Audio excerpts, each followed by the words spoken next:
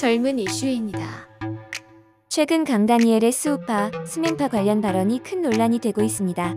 강다니엘은 팬 소통용 유료 메신저에서 스우파와 스걸파, 스맨파를 주제로 팬들과 소통을 했었는데요. 무심코 뱉은 멘트가 불이 붙어버린 것입니다. 솔직히 말하면 남자들이라 너무 편하다.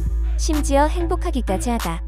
스걸파 때가 더 무서웠긴 했는데 지금이 더 좋다라는 발언들이었는데요. 소통하던 팬들이 이에 여성 출연자여서 무서웠다다는 거냐며 쏘아댔고 강다니엘은 아이아인 빡세게 한 누님들인데 무섭다고 하는 게 뭐가 문제냐 성별로 그러다니 할 말을 잃었다 선만 넘지 말고 살자라는 반박을 하기도 했습니다.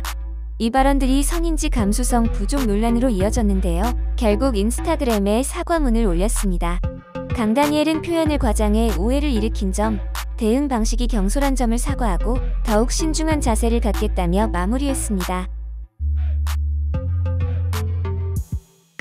별거 아닌 것 같고 발언이 잘못됐긴 하네. 이래서 항상 조심해야 함.